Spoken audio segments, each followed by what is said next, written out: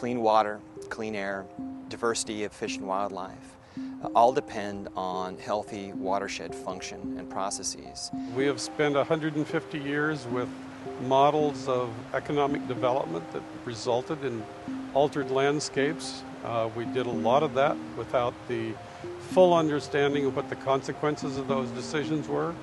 And as we start to understand what the consequences of those historical decisions were, it's really important to invest in ways to change those activities, change those structures that impede the functioning of watersheds to provide clean water, healthy habitats. Restoration economy blossom and the value of our investments are starting to be recognized in local communities around the state for the economic impact and benefit. The whole Watershed Restoration Initiative is a really great construct for delivering on-the-ground restoration. The WWRI is a partnership um, of which Ecotrust is the hub, um, and as a, a non-governmental entity, Ecotrust is the perfect organization to have at the, at the hub of this partnership because of some of the unique perspectives and resources that it brings to the table. The partnership also includes NOAA's Community Based Restoration Program, Region 6 of the United States Forest Service, the Oregon Watershed Enhancement Board, the Bureau of Land Management, and the USDA Natural Resources Conservation Service.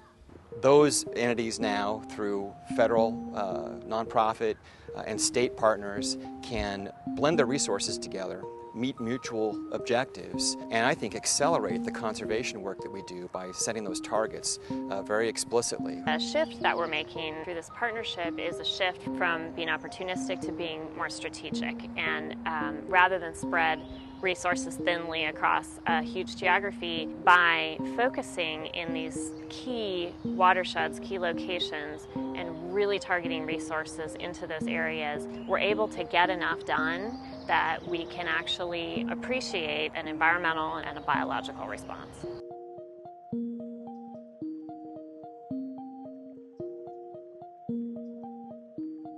If we use an approach like the whole watershed restoration initiative, we're able to be very thoughtful about the kinds of actions we need to take and also very focused about how we spend the money to address those problems. Grants that are put into communities also create jobs. They create, uh, they purchase goods and services, um, and those dollars make their way into the local communities that have great benefit above and beyond just the conservation values that we're investing in. We can have both productivity and protection on the same landscape. And so all of our work deals with how to find long term solutions so that we can, in the long run, become a people at home in a place.